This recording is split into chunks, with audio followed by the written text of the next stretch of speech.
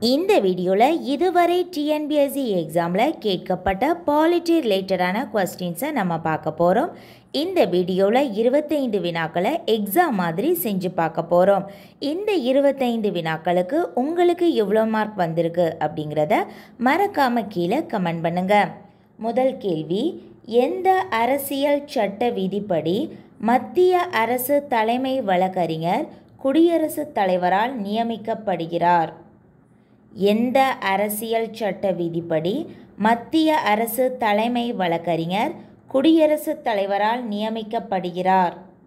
Answer option B சட்ட விதி எழுபத்தி ஆறு.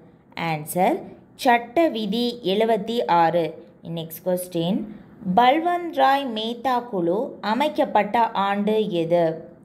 பல்வந்த் ராய் மேத்தா குழு அமைக்கப்பட்ட ஆண்டு எது? ஆன்சர் ஆப்ஷன் பி ஆயிரத்தி தொள்ளாயிரத்தி ஐம்பத்தி ஆறு. ஆன்சர் ஆயிரத்தி தொள்ளாயிரத்தி ஐம்பத்தி ஆறு. நெக்ஸ்ட் கொஸ்டின் நிதி புனராய்வின் முக்கியத்துவத்தினை நடைமுறைப்படுத்திய நாடு எது? நிதி புனராய்வின் முக்கியத்துவத்தினை நடைமுறைப்படுத்திய நாடு எது? Answer option B America answer America next question இந்தியாவின் பதினான்காவது குடியரசுத் தலைவராக தேர்ந்தெடுக்கப்பட்டவர் யார்? இந்தியாவின் பதினான்காவது குடியரசுத் தலைவராக தேர்ந்தெடுக்கப்பட்டவர் யார்? Answer option D Ramnath Kovind answer Ramnath Kovind நீ அடுத்த கேள்வி? பொருத்துக விதி முன்னூற்றி எழுபது நூற்றி ஐம்பத்தி மூன்று நூற்றி அறுபத்தி மூன்று மற்றும் நூற்றி எழுபது. இந்த விதிகள்லாம் எதை பற்றி குறிப்பிடுகின்றது? Answer option D three four two one three four two one விதி முன்னூற்றி எழுபது ஜம்மு மற்றும் காஷ்மீர். விதி நூற்றி ஐம்பத்தி மூன்று ஆளுநர். விதி நூற்றி அறுபத்தி மூன்று முதலமைச்சர். விதி நூற்றி எழுபது சட்டப்பேரவை. நெக்ஸ்ட் கொஸ்டின் நம்ம பார்க்கலாம். உச்ச நீதிமன்ற நீதிபதி ஆவதற்கான தகுதிகள் பற்றிய பின்வரும் கூற்றுகளுள் சரியானது எது? உச்ச நீதிமன்ற நீதிபதி ஆவதற்கான தகுதிகள் பற்றிய பின்வரும் கூற்றுகளுள் சரியானது எது? ஆன்சர் ஆப்ஷன் ஏ அவன் அவள் இந்திய நாட்டின் குடிமக்களாக இருத்தல் வேண்டும். இந்திய நாட்டின் குடிமக்களாக இருத்தல் வேண்டும். மற்ற ஆப்ஷன்ஸ் எல்லாம் நம்ம பார்க்கலாம். அவன் அவள் உயர் நீதிமன்றத்தில் குறைந்தது ஐந்து வருடம் வழக்கறிஞராக பணியாற்றியிருக்க வேண்டும். இது தவறானது. அவன் அவள் மாவட்ட நீதிமன்றத்தின் வழக்கறிஞராக பணியாற்றியிருக்க வேண்டும். தவறானது. அறுபத்தி ஐந்து வயதை அடைந்தவராக இருத்தல் வேண்டும். இதுவும் தவறானது. நீதிபதி ஆவதற்கான தகுதியில் சரியானது எதுனா? உச்ச நீதிமன்ற நீதிபதி ஆவதற்கான தகுதிகளில் சரியானது option A.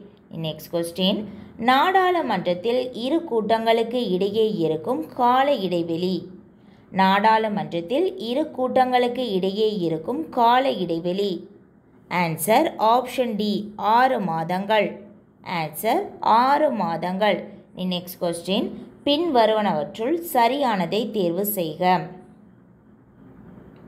Answer option C ஒன்று மற்றும் இரண்டு சரியானது. குடியரசுத் தலைவர் நாட்டின் தலைவர் ஆவார். சரியானது. நாட்டின் நிர்வாக அதிகாரங்கள் யாவும் குடியரசுத் தலைவரிடம் உள்ளன. இவையும் சரியானது. ஆப்ஷன் சி தான் கரெக்டான ஆன்சர். நெக்ஸ்ட் கொஸ்டின் கூற்று காரணம் ஆராய்க. ஆன்சர் ஆப்ஷன் சி கூற்று சரி. அதாவது கூற்று ஏ சரி ஆர் தவறு காரணம் தவறு. துணை குடியரசுத் தலைவர் மாநிலங்களவை கூட்டங்களுக்கு தலைமை ஏற்கிறார். இது சரியானது? அவர் மாநிலங்களவையினால் தேர்ந்தெடுக்கப்பட்டவர். இது தவறானது. ஏ சரி ஆர் தவறு. நீ நெக்ஸ்ட் கொஸ்டின் எந்த சட்டம் மத்திய அரசாங்கத்தால் இரட்டை ஆட்சி முறையை நடைமுறைப்படுத்தியது?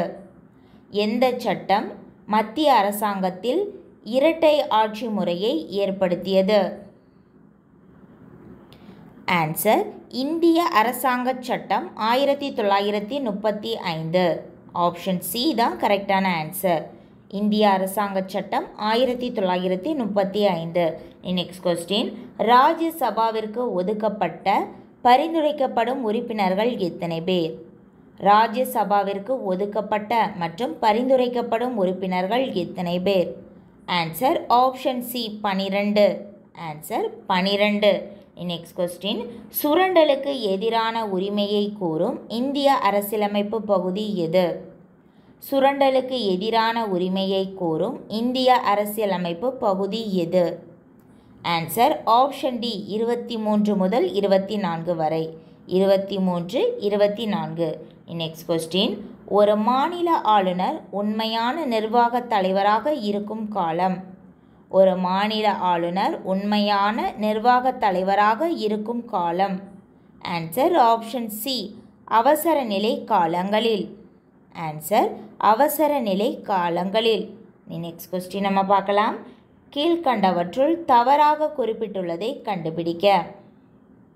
ஆன்சர் ஆப்ஷன் சி உயிர் வாழும் உரிமை. விதி பதினான்கு. இது தவறானது. மற்ற ஆப்ஷன்ஸ் எல்லாமே சரியானது. பாகுபாட்டை தடுக்கும் உரிமை. விதி பதினைந்து கூட்டம் கூட்டும் உரிமை. விதி பத்தொன்பது அரசியலமைப்பு மூலம் பரிகாரம் தேடும் உரிமை. விதி முப்பத்தி இரண்டு இதில் தவறானது உயிர் வாழும் உரிமை. விதி பதினான்கு. நீ நெக்ஸ்ட் கொஸ்டின் இந்திய அரசியலமைப்பு சட்டத்தின் விதிகளை அதன் நிறுவனங்களுடன் பொருத்துக. Answer option C three two four one three two four one இந்திய அரசு கணக் கணக்கு தணிக்கை தலைவர் இந்திய அரசு கணக்கு தணிக்கை தலைவர். ஆர்டிக்கிள் நூற்றி நாற்பத்தி எட்டு நிதி ஆணையம் ஆர்டிக்கிள் இருநூற்றி எண்பது நிர்வாக தீர்ப்பாயம் ஆர்டிக்கிள் முன்னூற்றி இருபத்தி மூன்றில் ஏ. மத்திய அரசு பணியாளர் தேர்வாணையம் பற்றிய ஆர்டிக்கிள் முன்னூற்றி பதினைந்து. இந்திய அரசு கணக்கு தணிக்கை தலைவர். ஆர்டிக்கிள் நூற்றி நாற்பத்தி எட்டு நிதி ஆணையம். ஆர்டிக்கிள் இருநூற்றி எண்பது நிர்வாக தீர்ப்பாயம். ஆர்டிக்கிள் முன்னூற்றி இருபத்தி மூன்று ஏ மத்திய அரசு பணியாளர் தேர்வாணையம். ஆர்டிக்கிள் முன்னூற்றி பதினைந்து.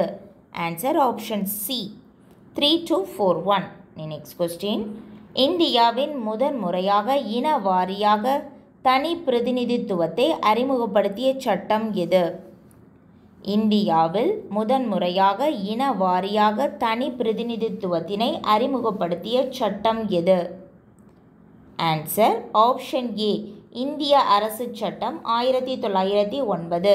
இந்திய அரசு சட்டம் ஆயிரத்தி தொள்ளாயிரத்தி ஒன்பது. நெக்ஸ்ட் கொஸ்டின் இந்திய ஜனாதிபதியை தேர்ந்தெடுக்கும் அமைப்பு எது? இந்திய ஜனாதிபதியை தேர்ந்தெடுக்கும் அமைப்பு எது? ஆன்சர் ஆப்ஷன் சி தேர்வர் குழு. ஆன்சர் தேர்வர் குழு. நெக்ஸ்ட் கொஸ்டின் கீழ்கண்டவற்றுள் சட்டத்தின் ஆட்சி பற்றிய தவறான கூற்று எது? கீழ்கண்டவற்றுள் சட்டத்தின் ஆட்சி பற்றிய தவறான கூற்று எது? ஆன்சர் ஆப்ஷன் டி அதிகாரிகளுக்கு சிறப்பு தகுதி. அதிகாரிகளுக்கு சிறப்பு தகுதி. நெக்ஸ்ட் கொஸ்டின் நம்ம பார்க்கலாம்.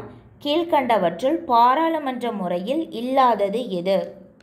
கீழ்கண்டவற்றுள் பாராளுமன்ற முறையில் இல்லாதது எது? ஆன்சர் ஆப்ஷன் டி ஒற்றை தலைமை. ஆன்சர் ஒற்றை தலைமை. நெக்ஸ்ட் கொஸ்டின் ஆயிரத்தி தொள்ளாயிரத்தி அறுபத்தி ஒன்பதில் டாக்டர் பி வி ராஜமன்னார் குழு ஏற்படுத்தப்பட்டது. அது எதற்காக? ஆயிரத்தி தொள்ளாயிரத்தி அறுபத்தி ஒன்பதாம் ஆண்டு டாக்டர் பி வி ராஜமன்னார் குழு ஏற்படுத்தப்பட்டது எதற்காக? ஆன்சர் ஆப்ஷன் ஏ மத்திய மாநில உறவுகளை ஆய்வதற்கு. மத்திய மாநில உறவுகளை ஆய்வதற்கு. நெக்ஸ்ட் கொஸ்டின் பிரிட்டன் பாராளுமன்றத்தில் இந்திய சுதந்திர சட்டம் எப்போது இயற்றப்பட்டது? பிரிட்டன் பாராளுமன்றத்தில் இந்திய சுதந்திர சட்டம் எப்போது இயற்றப்பட்டது? ஆன்சர் ஆப்ஷன் பி ஜூலை பதினெட்டு ஆயிரத்தி தொள்ளாயிரத்தி நாற்பத்தி ஏழு. ஜூலை பதினெட்டு ஆயிரத்தி தொள்ளாயிரத்தி நாற்பத்தி ஏழு. நெக்ஸ்ட் கொஸ்டின் இந்திய அரசியலமைப்பு விதி ஐம்பத்தி ஒன்றில் ஏவானது எதை பற்றி குறிப்பிடுகின்றது? இந்திய அரசியலமைப்பு விதி ஐம்பத்தி ஒன்றில் ஏவானது எதை பற்றி குறிப்பிடுகின்றது? ஆன்சர் ஆப்ஷன் பி அடிப்படை கடமைகள். ஆன்சர் அடிப்படை கடமைகள். நெக்ஸ்ட் கொஸ்டின் நம்ம பார்க்கலாம். அரசியலமைப்பின் எந்த விதி இந்திய குடியரசுத் தலைவருக்கு லோக்சபாவில் ஆங்கிலோ இந்தியன் சமுதாயத்தை சார்ந்த இரண்டு உறுப்பினர்களை நியமிக்க அதிகாரம் அளித்தது? அரசியலமைப்பின் எந்த விதி? இந்திய குடியரசுத் தலைவருக்கு லோக்சபாவில் ஆங்கிலோ இந்தியன் சமுதாயத்தை சேர்ந்த இரண்டு உறுப்பினர்களை நியமிக்க அதிகாரம் அளித்தது. ஆன்சர் ஆப்ஷன் சி விதி முன்னூற்றி முப்பத்தி ஒன்று. ஆன்சர் விதி முன்னூற்றி முப்பத்தி ஒன்று. Next question. நீதி புனராய்வு முறை பெறப்பட்ட நாடு. நீதி புனராய்வு முறை பெறப்பட்ட நாடு. Answer option A America. Answer America next question ஆயிரத்தி தொள்ளாயிரத்தி நாற்பத்தி ஆறில் ஆங்கிலேயர்களால் நியமிக்கப்பட்ட அமைச்சரவை தூதுக்குழுவின் உறுப்பினர்கள் எத்தனை பேர்? ஆயிரத்தி தொள்ளாயிரத்தி நாற்பத்தி ஆறாம் ஆண்டு ஆங்கிலேயர்களால் நியமிக்கப்பட்ட அமைச்சரவை தூதுக்குழுவின் உறுப்பினர்கள் மொத்தம் எத்தனை பேர்? ஆன்சர் ஆப்ஷன் டி மூன்று பேர். ஆன்சர் மூன்று பேர். அவ்வளோதான் நம்ம இருபத்தைந்து வினாக்களை நம்ம பார்த்துட்டோம். இந்த இருபத்தைந்து வினாக்களுக்கு உங்களுக்கு எவ்வளோ மார்க் வந்திருக்கு அப்படிங்கிறத மறக்காமல் கீழே கமெண்ட் பண்ணுங்கள் மறக்காமல் சேனலையும் சப்ஸ்கிரைப் பண்ணுங்கள்